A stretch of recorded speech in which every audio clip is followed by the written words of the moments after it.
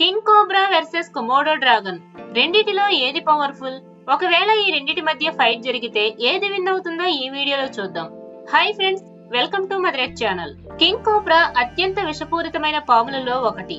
Komodo dragon బల్లి జాతిలో అతి ప్రమాదకరమైన జంతువు.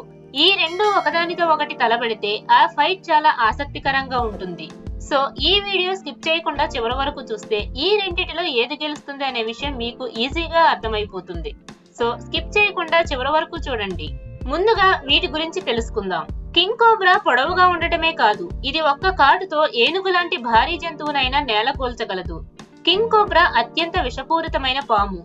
కింగ్ కోబ్రాని నల్లద్రాజు లేదా రాచనాగు అని పిలుస్తుంటారు. కేరళలో కింగ్ కోబ్రాని నాగరాజుగా పూజిస్తుంటారు. కోబ్రాకు ఉండే ప్రత్యేకమైన శరీరం ఇంకా దాని పడగ కారణంగా ఈ పాము చాలా ప్రత్యేకమైనదిగా చెబుతుంటారు. దీనికి ఏదైనా ప్రమాదం అని అనిపిస్తే దీని మెడ మీద ఉండే శరీరాన్ని వెడల్పు చేసి పడగ విప్పుతుంది. అప్పుడు ఇది చాలా అగ్రెసివ్గా మారిపోతుంది. అంతేకాదు కోబ్రా తన శరీరంలో మూడొంతుల భాగాన్ని ప్రత్యర్థి మీద దాడి చేసేటప్పుడు నేల పై నుండి పైకి లేపగలుగుతుంది. అలాగే ఇది స్పీడ్గా కూడా కదలగలుగుతుంది.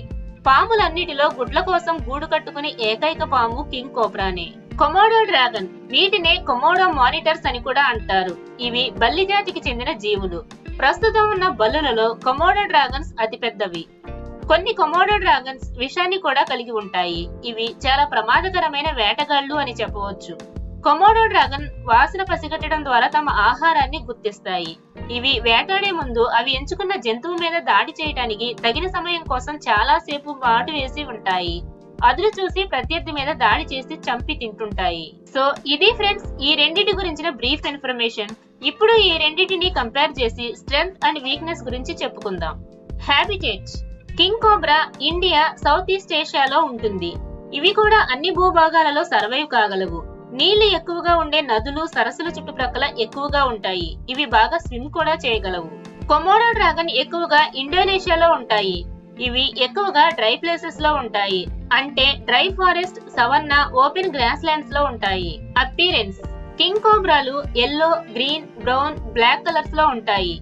వీటి మెడ భాగం ఎల్లో లేదా క్రీమ్ కలర్లో ఉంటుంది. వీటి కూరలు పదునుగా ఉండి వెనకకి వంగి ఉంటాయి. ఇవి జీరో పాయింట్ ఫైవ్ ఇంచ్ వరకు పొడవుంటాయి. కొమోడో డ్రాగన్లు చాలా మందమైన చర్మాన్ని కలిగి ఉంటాయి. ఇవి వాటి భారీ శరీరంతో నేల మీద పాకుతూ వేరే జంతువుల మీద దాడి చేస్తుంటాయి. వీటి లాలాజలం విషాన్ని కలిగి ఉంటుంది. Size and weight king cobra నేల మీద ఉండే విషపూరితమైన పాములలో అతిపెద్దది. కింగ్ కోబ్రా సుమారుగా పది నుండి పన్నెండు అడుగుల పొడవు కలిగి ఉంటుంది. ఇవి మాక్సిమం పొడవు పద్దెనిమిది అడుగుల వరకు ఉంటుంది. దీని బరువు సుమారు ఆరు కేజీల వరకు ఉంటుంది. పద్దెనిమిది అడుగుల కింగ్ కోబ్రా తన బాడీని మూడొంతుల వరకు నేలపై నుండి పైకి లేపగలుగుతుంది. అలా లేపినప్పుడు దీని పొడవు ఒక యావరేజ్గా హ్యూమన్ బీయింగ్తో సమానంగా ఉంటుంది. కోబ్రాకు ఉండే పడక కారణంగా ఇవి మిగతా పాముల కంటే భిన్నంగా ఉంటుంది. దీనికి కోపం వచ్చినప్పుడు పడక విప్పి బుసలు కొడుతుంది. ఈ అడవి బల్లలు సుమారు డెబ్బై కేజీల బరువు కలిగి ఉంటుంది. కానీ కొన్ని కొమోడో డ్రాగన్స్ నూట అరవై ఆరు కేజీలు కలిగి టెన్ పాయింట్ త్రీ ఫీట్ పొడవు కలిగి ఉన్నట్లు కొన్ని రికార్డ్స్ చెబుతున్నాయి ఇవి పెద్దగా ఉండటం వలన అవి ఉండే ప్రాంతంలో వాటిని అపెక్స్ ప్రెడేటర్స్గా కూడా చెబుతుంటారు. ఇవి అవి ఉండే భూభాగాలలో చాలా డామినేటింగ్గా ఉంటాయి. ఒకవేళ ఇవి ఉండే ప్రాంతంలోకి వేరే జంతువులు వస్తే ఇవి చాలా అగ్రెసివ్గా మారి వాటికి చాలా గట్టి పోటీని కూడా ఇవ్వగలవు. Hunting and behaviour king cobra ఒర్ఫియోగస్ బిహేవియర్ని కలిగి ఉంటుంది. అంటే కింగ్ కోబ్రా తన జాతిలోని పాములను కూడా తినేస్తుంది.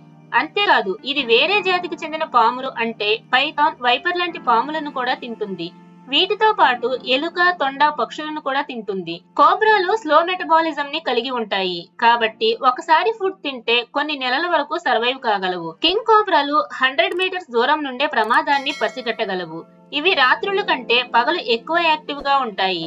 ఇవి సాధారణంగా ఆహారం కోసం తప్ప కావాలని ఏ జంతువు మీద దాడి చేయవు. కానీ వీటిని రెచ్చగొడితే మాత్రం చాలా అగ్రెసివ్గా మారిపోతాయి. Komodo dragon twelve miles per hour స్పీడ్తో పరిగెత్తగలదు. ఇది థౌజండ్ పిఎస్ఐ బైట్ ఫోర్స్ కలిగి ఉంటుంది. వీటి క్లాస్ టూ ఇంచెస్ పొడవు కలిగి షార్ప్గా ఉంటాయి. వీటి క్లాస్ చిన్నవి అయినప్పటికీ బలమైన మజిల్స్తో వేరే జంతువుల మీద దాడి చేస్తుంది. దీని విషం స్లో పాయిజన్ లా పనిచేసి వేరే జంతువుల మరణానికి కూడా దారితీస్తుంది. కొమోడో దానికి ఎదురొచ్చిన ఏ జంతువునైనా తింటుంది. కోతులు పక్షులు ఇంకా చిన్న చిన్న అడవి జంతువులను ఇది చంపి తింటుంది. దుప్పి జింక దున్నపోతు లాంటి పెద్ద జంతువుల మీద కూడా ఇది దాడి చేస్తుంది. ఇది చాలా వరకు ఏ జంతువునైనా బతికి ఉండగానే పీక్కొని తింటుంది. వీటికున్న స్లో మెటబాలిజం వలన ఇవి ఎక్కువగా తినవు. సంవత్సరంలో కేవలం పన్నెండు నుండి పదిహేను సార్లు మాత్రమే ఆహారాన్ని తీసుకుంటాయి. ఫ్రెండ్స్ చూసారుగా ఈ రెండిటి మధ్య ఉన్న తేడాలు. ఇప్పుడు ఈ రెండు ఒకదానితో ఒకటి ఎదురుపడితే ఎవరు గెలుస్తారో చూద్దాం. కింగ్ కోబ్రా వేరే జంతువుల మీద విషాన్ని ప్రయోగించటం వలన ఆ జంతువులను చంపగలుగుతుంది. కింగ్ కోబ్రాకు ఉండే విషంలో న్యూరోటాక్సిన్లు ఉంటాయి. ఇవి ఏ జంతువునైనా కాటు వేస్తే వీటి విషంను నాడీ వ్యవస్థ మీద ప్రభావం చూపి ఆ జంతువు మరణానికి దారితీస్తుంది కానీ కొమోడో డ్రాగన్ స్కిన్ చాలా మందంగా ఉంటుంది. కింగ్ కోబ్రా విషం కొమోడో స్కిన్లోకి అంత త్వరగా ఎక్కదు. కానీ కొమోడో కోబ్రా కంటే కూడా బలంగా ఉండి కోబ్రా కంటే కూడా ఎక్కువ ఎత్తు నుండి దాడి చేయగలుగుతుంది. కోబ్రాను కొమోడో నోటితో గట్టిగా పట్టుకొని చంపి తినగలుగుతుంది. ఈ ఫైట్లో కొమోడో ఫైట్ విన్ అయ్యే అవకాశం ఎక్కువగా ఉంటుంది. మీరేమనుకుంటున్నారా మీ అభిప్రాయాన్ని కామెంట్ సెక్షన్లో కామెంట్ చేయండి. ఇంకా ఇలాంటి మరిన్ని వీడియోస్ కోసం మా ఛానల్ని సబ్స్క్రైబ్ చేసి అప్డేట్స్ కోసం పక్కనే ఉన్న బెల్ ఐకాన్ని క్లిక్ చేయండి. జై హింద్. Save the nature.